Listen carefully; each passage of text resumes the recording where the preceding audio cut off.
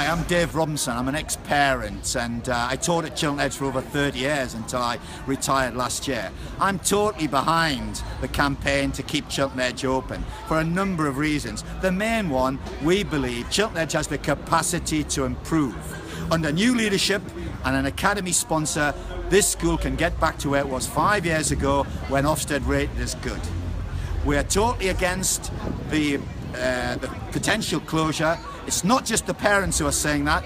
It's not just the 2,039 people who've signed the online petition. It's not just the hundreds of parents who are supporting the Facebook campaign.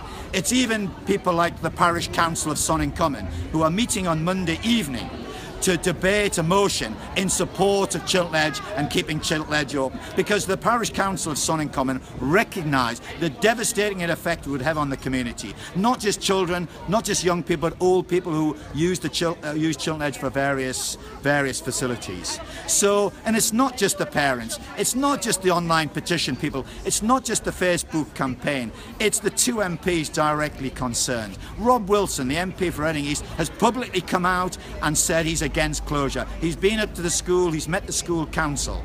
John Howell, the MP for Chiltern Edge, the MP for Chiltern Edge in the Henley constituency has come out and said he is against closure. That should convince Oxfordshire County Council to seriously listen to what we've got to say, stop the consultation, actively seek an academy sponsor, get in a new leadership in Chiltern Edge, and let's get the school up and running as it was a Why few don't years you ago. want Chiltern Edge to close? because it's like a big family community and everyone knows each other. So it's like a big family, really. So what is it you like so much about Chiltern Edge? Um, it's a welcoming school.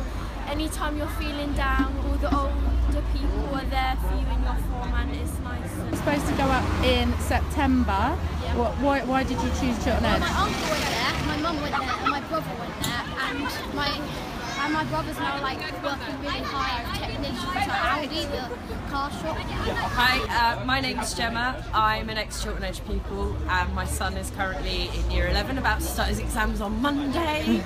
um, Chiltern Edge is a good school. I had an excellent experience there. My son has enjoyed the last five years and done really, really well.